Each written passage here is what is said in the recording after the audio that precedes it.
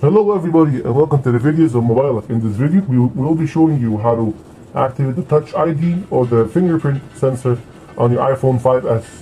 First of all open settings, go down until you find touch ID and passcode, enter your passcode.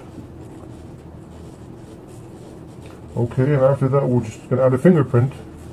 So as it says we're just going to lift and rest the finger on the home button repeatedly like that. Three,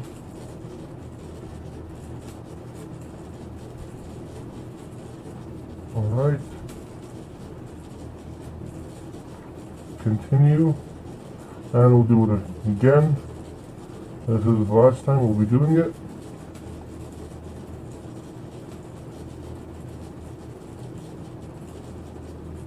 Right after that, we're just going to press that. Lock your phone. Press the home button with your finger. That's it, pretty much. If you guys need any help with your iPhone 5s, please don't hesitate to write us in the comment section down below. Press like and subscribe.